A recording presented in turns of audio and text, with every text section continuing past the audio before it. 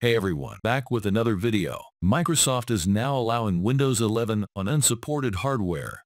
But let's be real, Windows 10 still dominates with a 61.8% market share. Windows 11's growth has slowed down, and it might even be declining slightly. Could this be because people are going back to Windows 10? Even with its 2025 end-of-life date? Now, Microsoft has updated its stance on installing Windows 11 on unsupported hardware. They acknowledge the risks, stating that compatibility issues and lack of support are possible. Microsoft also emphasizes the importance of rolling back to Windows 10 if you encounter problems.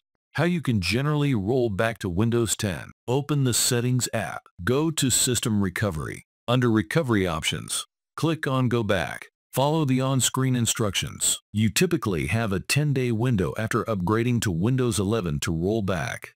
After this period, the option may become unavailable. Rolling back may result in the loss of some data or settings installed after the upgrade to Windows 11.